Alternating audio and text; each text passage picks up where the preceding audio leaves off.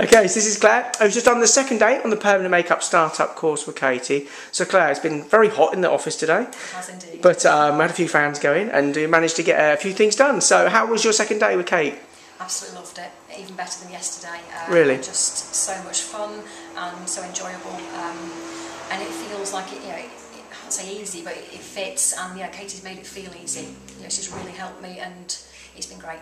Excellent. And did you sort have you sort of got on with her over the last couple of days then? Oh, And fabulous. We've got on so so well. We've had a great time. Yeah.